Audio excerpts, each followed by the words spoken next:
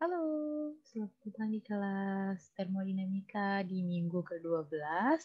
Untuk yang uh, di minggu ini kita akan membahas beberapa uh, contoh soal tentang energi balance ya. Untuk energi balance-nya sendiri itu hampir sama seperti mass balance sebenarnya. Uh, namun kalau di uh, energi balance ini ya berarti kita sedang bermain dengan energi ya. Nanti kalor, balik lagi ke perhitungan entalpi, balik lagi heat of internal energy, itu kita akan balik lagi ke sana gitu ya. Nah, seperti yang di YouTube sebelumnya gitu, uh, kita sudah membahas bahwa energi balance itu akan membahas permasalahan mengenai uh, ini ya permasalahan mengenai energi balance itu berarti tentang energinya. Energinya dalam bentuk apa aja? Bisa dalam bentuk internal energi, kinetik energi gitu ya. Kinetik energi kita tahu setengah mv kuadrat atau potensial energi dalam bentuk mgh gitu. Atau nanti kita bisa kalau dalam heat internal energi ini bisa bermain juga dengan entalpi ya bisa dihitung dengan CP delta T atau MCP delta T. Nah, ini kalau kita bermain di energi balance. Nah, itu akan nanti akan kita pakai ya. Dan berikutnya, oke, okay, jadi di dalam energi balance itu ada beberapa form of energi yang bisa kita pakai gitu ya. Ada beberapa bentuk dari energi yang bisa kita gunakan di dalam uh, dalam perhitungan energi balance. Jadi yang pertama itu bisa kita pakai adalah heat, heat internal energy. Oh, Nah, heat internal energy. Nah, kalau heat internal energy itu berarti kita pakai yang MCP delta T. Jadi kita pakai uh, mass uh, specific heat capacity ya dan dihitung berapa massnya dan berapa perubahan suhunya. Ini yang nanti akan paling sering kita pakai sih sebenarnya di energy balance. Ada juga dia mungkin di dalam energy balance itu bentuk perubahan energinya adalah dalam bentuk chemical internal energy. Atau tadi saya sudah bilang bisa pakai gravitational potential energy gitu ya, atau yang pakai kinetik setengah mv kuadrat, atau justru ada kita pakai uh, energi elektromagnetik. Cuman mungkin kalau di dalam uh, teknik lingkungan mungkin agak jarang pakai energinya perubahan energinya elektromagnetik atau agak lebih jarang. Nah, kemudian kalau di dalam energi balance itu sebenarnya adalah kita melihat berapa heat yang terstore di sini dan berapa heat yang masuk.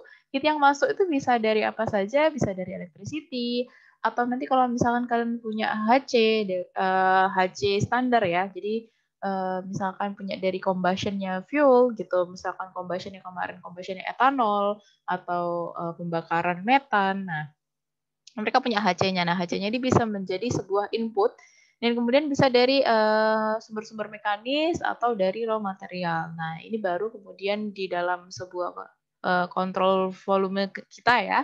Nah, ini berarti akan ada heat yang dikasih ke surrounding kemungkinan. Ini kalau dia terbuka ya, kalau sistemnya terbuka. Tapi kalau tertutup ya berarti no heat transfer to surrounding gitu. Nah, juga bisa heatnya itu berarti keluar sebagai di produk atau di dalam uh, sisanya. Jadi di sisa bisa keluar gitu. Jadi heatnya, kalau energi balance-nya itu heatnya seperti ini. Kita bermain semuanya tentang heat, bagaimana panas itu uh, berada pada di dalam sistem tersebut gitu ya. Nah, untuk melihat uh, energi balance ini, yang pertama adalah uh, yang paling dekat dulu sama kita. Yang paling dekat dulu sama kita kalau misalkan yang di rumahnya punya yang namanya water heater ya, atau mungkin kalau pernah ke hotel dan kemudian uh, ada tahu water heater gitu ya. Water heater itu kan kita memasukkan air keran yang dingin, kemudian dipanaskan pakai water heater itu dan kemudian baru uh, airnya menjadi hangat gitu. Nah, di sini soal ini adalah kita juga menghitung nih, gimana sih berapa sih suhunya itu nanti keluar gitu. Suhunya keluar berapa sih setelah dipanaskan? Nah, soalnya adalah uh, anggap kalau kita uh, punya water heater ya, water heaternya itu uh, volumenya 151,4 liter, jadi dia bisa menampung air sebanyak 151,4 liter. Dan kemudian air uh, yang dialirkan dari air keran itu kan air keran dulu kan ya, air keran yang dialirkan itu awalnya punya suhu misalkan 10 derajat Celcius gitu ya, dan laju alirnya sebesar yang dimasukkan itu 7,75 liter per menit. Nah, diasumsikan bahwa pemanasnya ini itu bekerjanya 100% gitu ya. Jadi bukan uh, hanya konversi beberapa persen aja, tapi dia 100% dikonversikan menjadi air yang panas gitu, air hangat gitu. Nah, kemudian uh, pada level pemanas yang kita misalkan pakai pemanas maksimum gitu ya, kita pemanasnya itu akan mengkonsumsi listrik. Berarti ini ada heat of electricity ya. Mengkonsumsi listrik sebesar 5 kW. Nah, dan kemudian asumsikan bahwa sekarang sistem kita dalam keadaan steady state ya. Nah, sebelum kita mengerjakan mungkin kita eh, gambar dulu kali ya. Lebih enak tuh kalau semuanya digambarkan sebenarnya ya. Oke, baik, kita gambar dulu. Kita punya sebuah water heater gitu ya. Ini water heater. Water heater dengan volume adalah 151,4 liter dan kemudian air masuk gitu ya air masuk itu air keran masuk 7,75 liter per menit. Dengan suhu awalnya adalah 10 derajat Celcius. Efisiensinya 100% berarti semuanya akan terconvert gitu ya. Key out berarti karena 100% kan ya, berarti kan semua yang masuk akan menjadi semua yang keluar. Jadi ini key outnya pasti akan sama. Sedangkan T2-nya adalah yang nggak tahu gitu ya. Jadi kita yang menghitung nih dan kemudian di sini ada konsumsi heat electricity gitu ya. Dari heatnya dari listrik adalah 5 kilowatt gitu. Nah, kemudian kita disuruh mencari uh, berapa sih suhu air setelah uh, masuk ke water heater tersebut gitu ya. Dan di sini kita juga tahu bahwa bagaimana meneruskan kalau misalkan dulu di dalam mass balance itu kan kita dm per dt sama dengan uh, in kurangin out gitu ya. Mass flux in, mass flux out gitu. Nah, sekarang kita punya adalah uh, energi gitu ya. Jadi kalau kita punya energi berarti kita tulisnya dE per dt adalah E in dikurangin E out.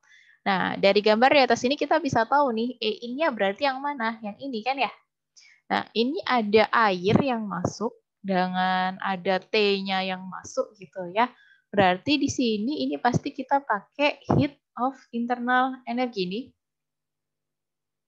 Ya karena ada air yang masuk gitu ya, heat of internal energy berarti kita pakai M CP delta T. Ini nanti di sini ya, MCP delta T. Berarti ini ada M mass flux CP terus T in gitu ya. Kemudian ada lagi siapa yang masuk? Yang masuk ada uh, energinya dari uh, listrik itu ya saya bilang. Kemudian dikurangi sama yang out, berarti M CP sama T out. Itu ya. Di sini key-nya karena yang keluar masuk sama, berarti ini bisa saya jadikan satu MCP, maaf. Ini bisa saya jadikan satu T in dikurangin T out gitu ya. Ini ditambah dengan E listrik.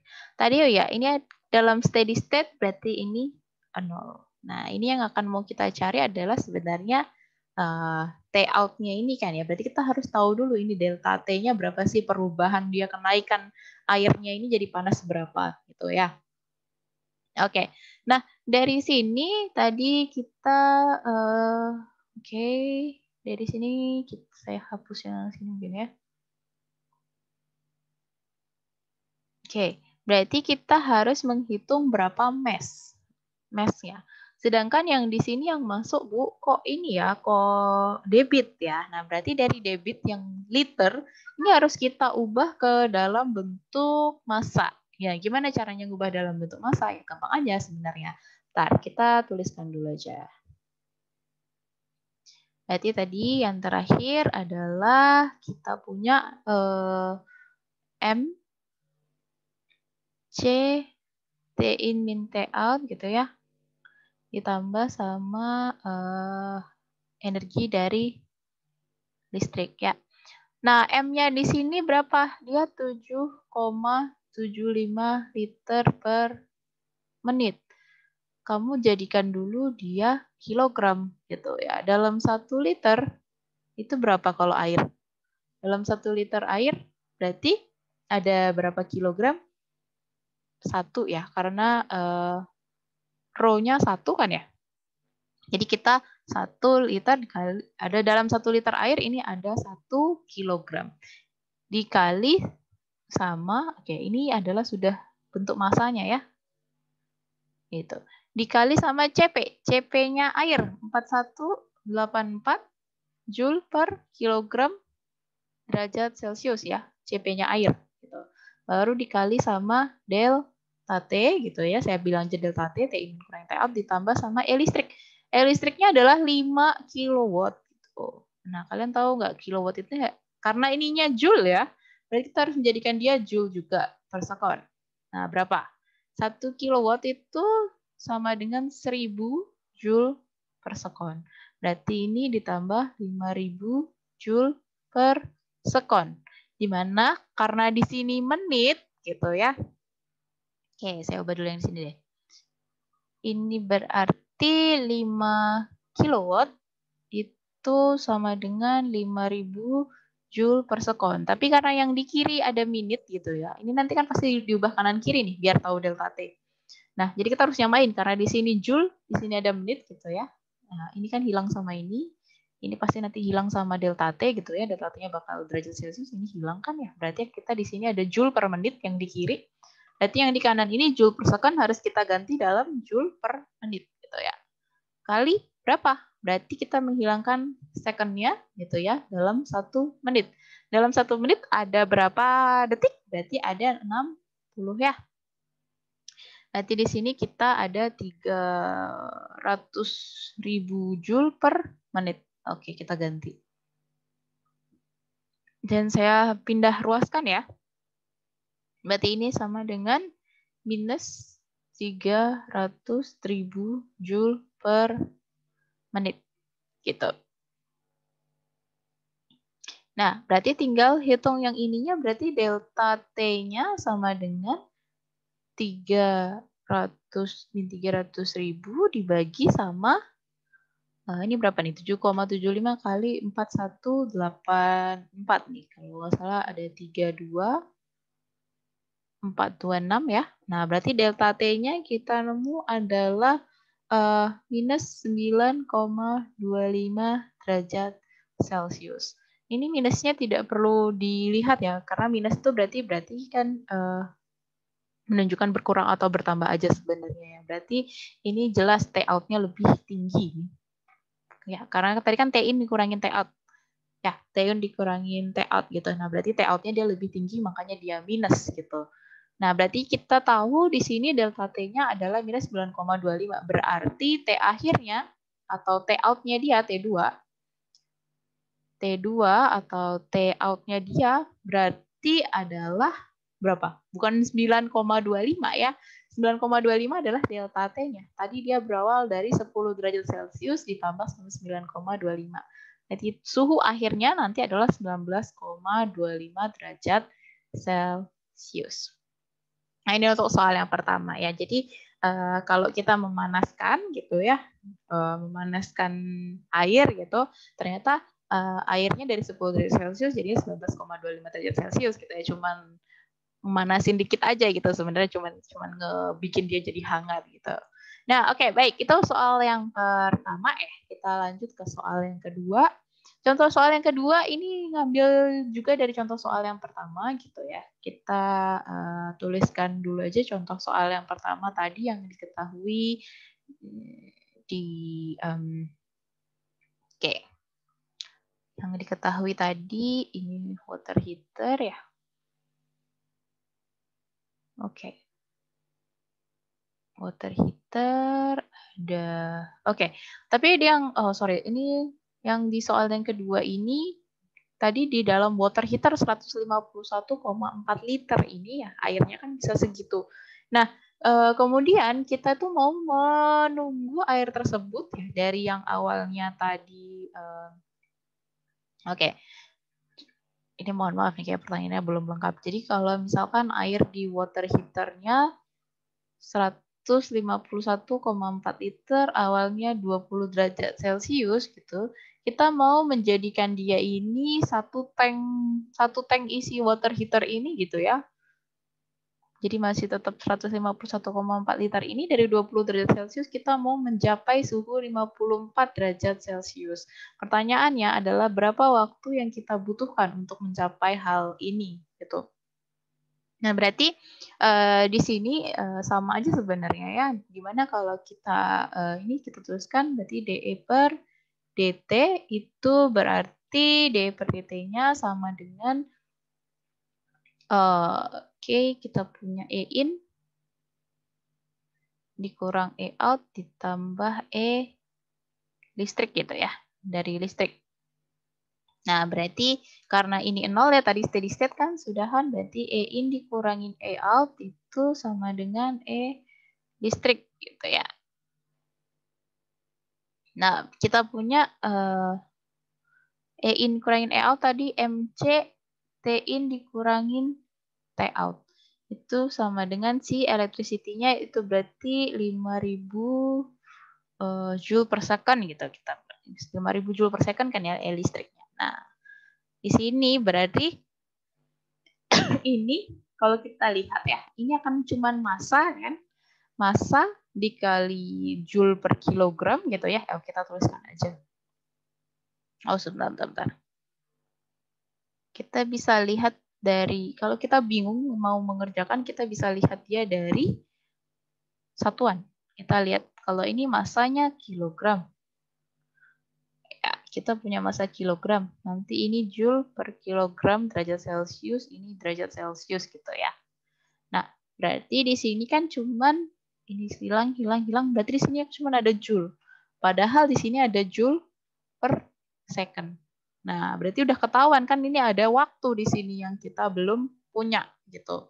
Kita ada waktu yang kita belum punya di sini berarti kita bisa lihat bahwa term yang di kiri ini harus dibagi sama waktu satu. Dia harus menjadi joule per juga biar kita bisa sama kanan sama kiri. Berarti ada delta T di sini. Gitu. Uh, kira-kira paham nggak ya? Maksudnya uh, kalau kita bingung, nah ini delta T-nya masuk ke mana ya? Time-nya masuk ke mana ya? Cuman kita lihat aja nih kanan kanan sama kiri kan harus sama ya. Kalau yang kan joule per second berarti yang kiri harus joule per second. Sedangkan tadi kita lihat bahwa kalau kita termnya cuma yang atas ini, itu hasilnya satuannya cuma joule. Nah, sekonnya ke mana? Berarti kita harus membagi dia dengan satu satuan waktu. Berarti delta T-nya kita anggap. Nah, berarti uh, tinggal dibalik-balik aja. Berarti uh, kita punya delta T itu adalah itu M C T in kurangin T out gitu ya. Dibagi sama 5000 ya. Dibagi sama, eh, dulu, dibagi sama 5000 joule per second. Nah, kita lihat yang atasnya ini berapa jadinya uh, M-nya tadi berapa ya? Masanya Oh, kita masanya pakai ini berarti ya. Kita sudahan sekarang kita mau memanaskan satu tank, satu tangki. Satu tangki 151,4 liter, berarti sama ke dalam satu kilogram itu satu liter ya, satu liter itu satu kilogram. Dikali sama 4184 tadi gitu ya, dikali delta T karena dia dari 54 20 berarti delta T-nya 34 derajat Celcius baru dibagi sama 5000 joule per second. Ini bisa coba kalian hitung ya. Ini coba di kalian hitung. Ini berapa ini berarti waktu yang dibutuhkan? Waktu yang dibutuhkan berarti ada sekitar 1,19 jam. Berarti kita bulatkan aja sekitar 1,2 jam. Ya, 1,2 jam. Karena nanti ini dapatnya harusnya 4.307 detik ya. Nah, kita coba ya kalau kita hitungnya detikan lama yang 4000 berapa sih 4000 itu berapa berapa jam gitu ya. Kita hitungkan dalam satu jamnya kita dalam satu jamnya itu berarti 1,2 jam. Jadi 4.307 detik adalah 1,2 jam. Nah, berarti kalau kita mau memanaskan, eh, misalkan water heater ini diisi full air penuh sampai volumenya dia gitu, dengan volumenya dia 151,4 liter, yang awalnya di 20 derajat Celcius, mau kita panasin nih, uh, sampai dia 54 derajat Celcius, berapa waktu yang kita butuhkan untuk menunggu si 151,4 liter air ini uh, bertambah panas gitu ya, jadi 54 derajat Celcius. Nah, ini berarti kita butuh waktu 1,2 jam, kita biarin dulu dia di dalam tangkinya si water heater itu selama 1,2 jam, nah kita akan mendapatkan 54 derajat Celcius, air 54 derajat Celcius. Jadi 151,4 liter air itu akan menjadi 54 derajat Celcius dalam waktu 1,2 jam. Oke, itu yang contoh soal yang kedua. Oke, dan yang contoh soal yang ketiga kita akan bermain sama yang namanya PLTU. ya PLTU dengan dayanya. Jadi diam PLTU-nya ini menghasilkan listriknya 1000 megawatt. Dia terletak di samping sungai dan menggunakan air sungai. Jadi air sungainya itu digunakan uh, untuk mendinginkan. Jadi kan PLTU akan menghasilkan G, uh, menghasilkan heat, sorry, menghasilkan panas yang itu merupakan sebuah waste sebenarnya. Nah, uh, dia untuk mengurangi panasnya itu dia mengalirkan air dari sungai, gitu. Dia mengalirkan air dari sungai Nah, uh, kemudian air itu akan menangkap semua semua heat yang tadi dikeluarkan dan kemudian akan dikeluarkan kembali ke sungai gitu ceritanya yang di soal ini gitu. Nah, PLTU ini sendiri itu efisiensinya 33%. Efisiensi 33% berarti ada daya yang masuk dikonversi hanya 33%. Jadi dia hanya menghasilkan dari 33% dikonversi dia menghasilkannya 1000 megawatt. Jadi kalau misalkan bisa saya gambarkan uh, ini power plant-nya gitu ya, dia ada daya masuk gitu ya. Sedangkan konversinya si PLTU ini cuma 33%. Jadi 33% yang dihasilkan daya keluarnya adalah uh, eh, 1000 megawatt gitu. Nah, gini. Nah, berarti kita harus tahu dong, ini daya masuknya berarti sekitar berapa dan berarti ini daya outnya yang digunakan 1000 dan ini ada daya out yang menjadi waste. Di sini akan kita punya river. Nah, daya out yang dari waste inilah yang akan masuk ke oh duh, akan masuk ke sungainya kita gitu. Daya out yang waste ini yang akan masuk. Nah, kita berarti harus tahu dong berapa daya masuknya dulu gitu. Jadi kita bisa tahu nih karena dari daya masuk berapa, uh, ternyata daya outnya 1000, berarti ada yang di waste ini yang bakal dikasih uh, air sungai gitu kan, yang akan dikasih air sungai dan kemudian dibalikin lagi ke sungai gitu. Jadi kita harus menghitung berapa waste yang ada di sini ini daya out waste ini. Nah ini akan yang akan masuk ke sungai gitu ya. Ada kan laju alirnya sungai sendiri sudah ada 100 meter kubik per sekon. Jelas ini nanti kalau ada kayak gini pasti ini jadi mesnya. Mes flagnya ini pasti jadi dari ini. Ya, oke. Okay. Nah, kemudian yang ditanya adalah berapa kenaikan temperatur air sungai. Sama, yang ditanya adalah delta T berarti ya, kenaikan berapa kenaikan kan ya. Bukan suhu akhir loh ya, tapi ini berapa kenaikan gitu. Yang ditanyakan adalah berapa kenaikan. Nah, oke. Okay. Berarti kira-kira uh, gambarnya seperti itu ya untuk gambar uh, diagram energi balance-nya gitu ya. Jadi kita akan mencari ini yang di sini nih. Nah, ini akan masuk ke sungai kan. Nah, yang masuk ke sungai ini berapa nih nanti jadinya? Jadi masuk ke sungai dengan aliran segini. Nah, berarti out-nya berapa? Ini akan menjadi in-nya di sungai. Ini yang sebenarnya kontrol volume kita ada di sini. Ya, oke okay, saya agak kurang rapi gitu ya. Nanti di sini dengan ada river gitu ya. Ini masuk ke sini gitu ya. Daya outwaste-nya ini akan masuk dan key in-nya 100 meter kubik per sekon gitu. Dan dia ini akan ada out ya berapa suhunya gitu. Berapa suhunya yang akan dibawa gitu ya. Ya karena ada delta T di sini ya, karena ini ada T2, di sini ada T1 pasti. Nah inilah yang akan kita lihat. Tapi sebelum lihat ini kita harus melihat yang ini dulu. Kita harus tahu berapa persen, eh maaf berapa eh, heat yang menjadi waste-nya. Nah, kita berarti ada daya masuk gitu ya. Ada daya masuk, dia dikonversi gitu. Dia dikonversi 33 persennya itu akan menghasilkan 1000 megawatt.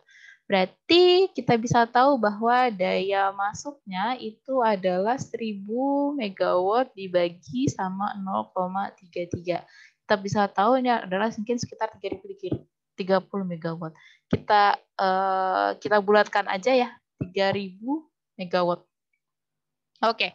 Berarti dari 3000 di sini kita bisa lihat ya, berarti dari 3000 megawatt yang masuk gitu, seribunya akan jadi electricity gitu ya. Berarti yang akan jadi heat yang di waste gitu ya, yang menjadi limbahnya adalah kita tahu berarti berapa? 2000 megawatt. Nah, ini. Ini yang kita penggunaan yang pertama ya. Oke, ini penggunaan pertama kita berarti uh, saya coba hapus dulu. Berarti di sini ada 2000 megawatt electricity akan masuk ke rivernya kita gitu ya. Dengan key-nya 100 meter kubik per second gitu ya. Dan kemudian ini kita ada out-nya nanti berapa. Gitu. Oke. Okay. Nah, berarti sama DE per DT sama dengan E in dikurangin E out. Itu ya. Berarti kita punya, uh, anggap saja ini kita pada steady state, berarti 0. Nanti sama dengan E in dikurangi E out. Berarti intinya adalah E in sama dengan E out ya. Oke, kisah intinya sama dengan itu. Nah, berarti yang masuk siapa? Yang masuk ada heat of electricity gitu ya. Eh, saya tuliskan E listrik aja gitu. Ada heat of electricity. Nah, ada heat of electricity-nya berarti terus kemudian ada si kalau dia ada key gini ya, pasti dia nanti heat of internal energy nih pasti ada heat of internal energy yaitu MCP delta T. Berarti ada M E out-nya gitu ya. Oh sorry sorry, yang in ada satu lagi ya. Yang in ada satu lagi yaitu M CPT in gitu ya. Yang ini adalah M CPT out. Itu. Oke, okay, berarti kita bisa ubah lagi berarti E listrik itu sama dengan M CP T out dikurangin T in atau kita nanti di sini bisa ganti sebagai delta T. Nah, dari listriknya berapa? 2000 megawatt. Tadi kalau 1 kilowatt itu 1000 joule per second. Berarti kalau 1 megawatt itu 10 pangkat 6 ya, karena 1 megawatt itu 1000 kilowatt. Nah, 1000 kilowatt berarti 10 eh 1 juta joule per second gitu ya. Berarti di sini kita punya dia 2000 ya, tadi yang masuk ininya. Oke, 2000 berarti 2000 dikali 10 pangkat 6 joule per second sama dengan oke, masanya kita pakai 100 meter kubik per second. Udah sama-sama second ya jadi saya nggak nggak usah ubah yang di sini jadi minute gitu. Yang perlu saya ubah adalah di sini satu meter kubik harus saya jadikan liter dulu. Di dalam satu meter kubik ada 1000 liter di mana dalam satu liternya ada satu kilogram ya ini jadi satu nih ya untuk yang masanya oke baru dikali sama siapa CP. CP-nya air 4184 Joule per kilogram derajat Celcius baru kita kali delta T. Ini sudah kelihatan ya, tinggal dibolak-balik aja gitu. Terserah kalian, sesuka kalian itu apa yang mau dikerjakan duluan gitu ya. Jadi akan kita dapatkan ini nanti delta T-nya adalah 4,8 derajat Celcius gitu.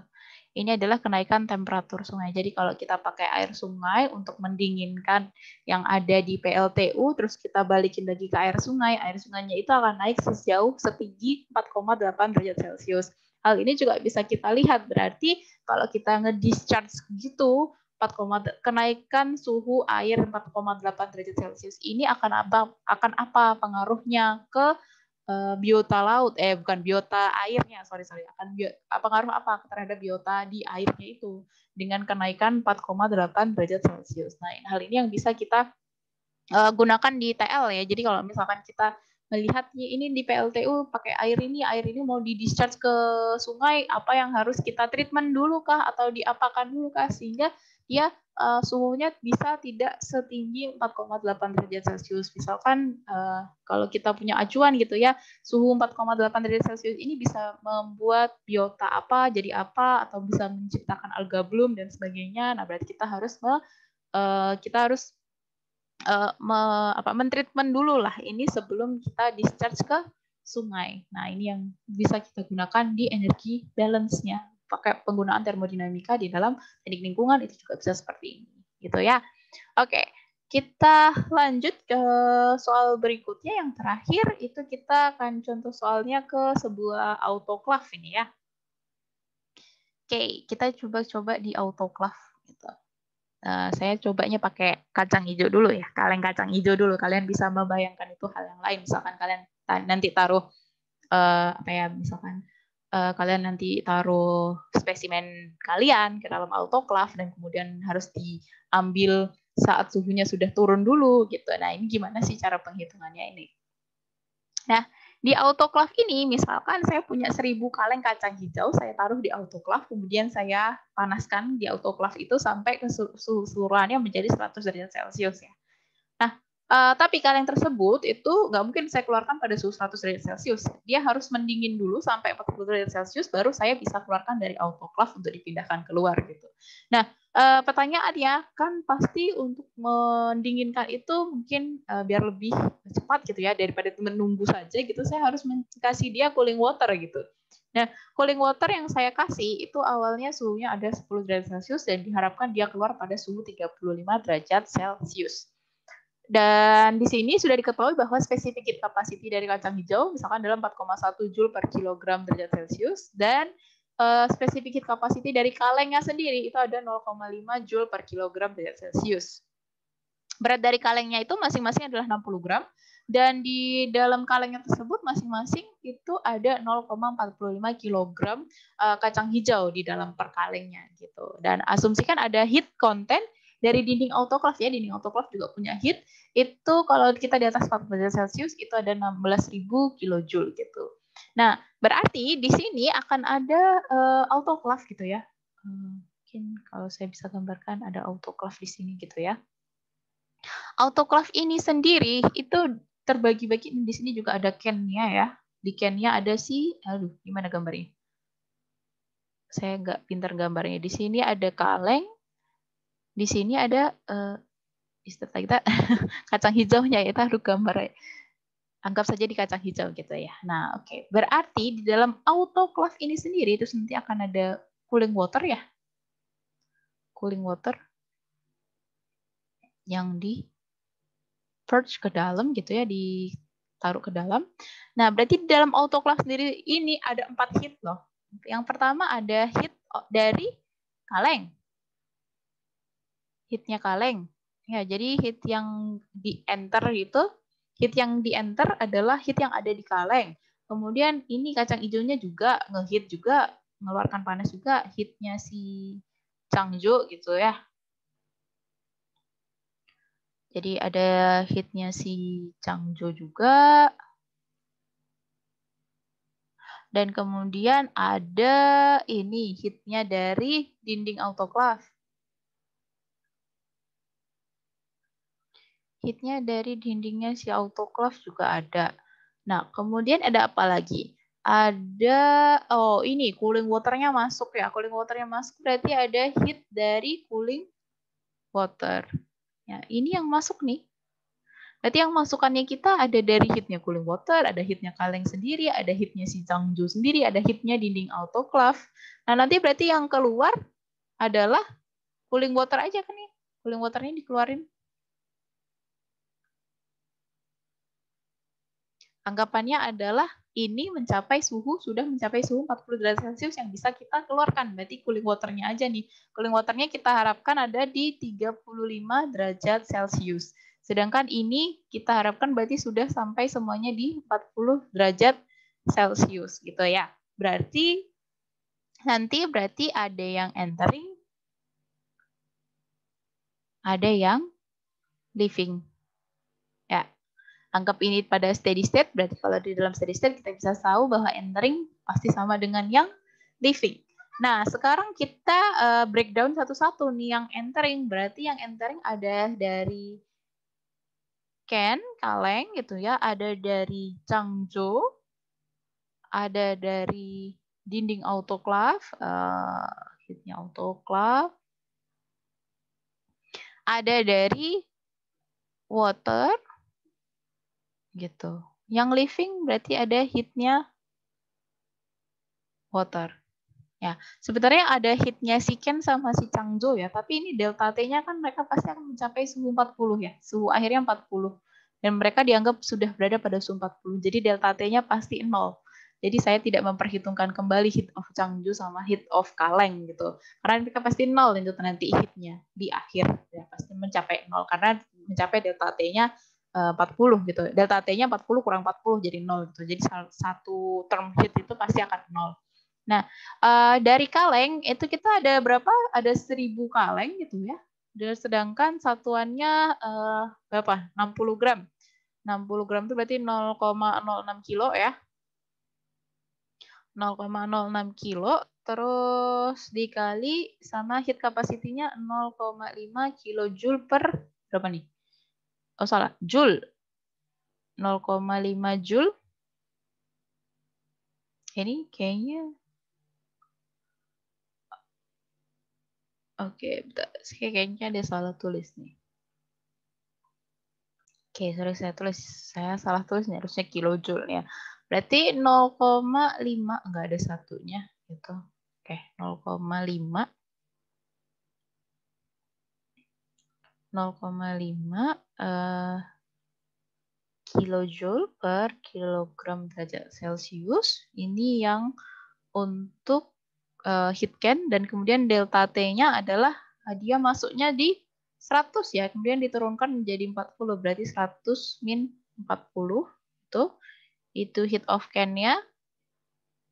Dan kemudian kita punya heat of Changzhou. Changzhou itu 1000 juga ya, karena ada 1000 kaleng gitu dikalikan 0,45 kg ya. Ada 0,45 kg dikali 4,1 ini. Kilojoule per kilogram derajat Celcius dikali delta T-nya sama ya 100 jadi 40 itu kemudian ada si heat autoclave. Autoclave tuh langsung berapa? 16.000 kilojoule gitu. Kemudian ada si heatnya water waternya itu berarti ada berapa tuh kita ada waternya berarti kan kita nggak tahu ya berapa cooling water yang harus kita masukin. Jadi kita tulis saja W dikali sama si uh, sama si ininya heat capacity-nya 4,186 kilojoule per kilogram derajat Celcius dikali nah ini suhunya yang masuk kan 15 ya masuk ke 15 mana tadi suhu awalnya oh, 10 ya. Nah, suhunya 10 jadi 35 ya. Oke. 10 jadi 35 tuh berarti berapa tuh? 10 jadi 35 berarti eh 10 jadi 40 berarti 10 dikurangi 40 gitu ya. Oke. Dan kemudian yang di sana juga saya kita nggak tahu nih waternya berapa gitu, jadi kita tulis W aja. Terus dikali eh, 4,186 tetap ya, kali CP-nya dikali delta T-nya. Nah, yang out adalah kita harapkan dia mencapai dia sudah di 35 gitu ya. Dan kemudian suhu airnya adalah 40, berarti delta T-nya adalah 35 dikurangi 40. Nah, ini nanti kalian uh, coba arrange-arrange gitu ya. Berarti nanti kita sekitarnya punya uh, yang yang heat of can-nya itu mungkin sekitar uh, 1800 kilojoule gitu ya. Yang dari Changzhou-nya ada 11.000 kilojoule. Kemudian dari autoclave-nya ada 16.000. Kemudian uh, dari airnya kita punya kemudian untuk yang airnya itu kita punya min 125,6 W yang karena W-nya nggak tahu ya kita. Kemudian yang di term kanan kita punya min 20,9 W. Nah, silahkan kalian arrange sendiri. Nanti kalian nemu berarti uh, kita punya di sini. Oke, kita akan punya di sini nanti uh, kalian atur-atur sendiri ya. Ini kanan kiri kanan kiri gitu aja. Berarti nanti uh, su eh suhu massa ya, berapa banyak cooling water yang kita butuhkan itu berarti kita butuh 1220,63 kg of cooling water. Jadi kita butuh cooling waternya sebanyak ini untuk memenuhi uh, persoalan yang ada di sini tadi, gitu ya. Oke, okay. That's it mungkin empat soal, empat contoh soal yang bisa saya uh, saya bahas bersama kalian di kelas termodinamika di minggu ke-12 ini. Nah, nanti silahkan uh, jangan lupa uh, go to the description link ya. Ada link di deskripsi, ada di kolom deskripsi. Uh, tolong uh, diklik di link itu dan tolong diisikan di situ. Dan isi linknya adalah uh, semuanya ada di dalam YouTube video ini. Jadi kalau kalian tidak belum uh, memperhatikan video ini dari awal hingga akhir, berarti akan susah itu untuk menjawab yang ada di link tersebut gitu ya. Oke, baik. Segitu saja mungkin yang bisa saya berikan untuk kelas termodinamika lingkungan di minggu ke-12 ini. Uh, dan kemudian uh, silahkan dipelajari ya, mulai dari uh, neraca massa sama neraca energi. Nah, minggu depan kita akan kuis Eh, kemungkinan besar adalah kuisnya saya pakai quiz is. Nanti tolong lihat di dalam uh, ininya di dalam LMS-nya ya. Nanti akan saya umumkan di LMS di minggu ke-13 itu akan kita akan ada quiz quiznya pakai apa akan saya uh, informasikan di sana sebelum sebelum hari quiz gitu ya. Oke baik terima kasih. Uh, selamat siang semuanya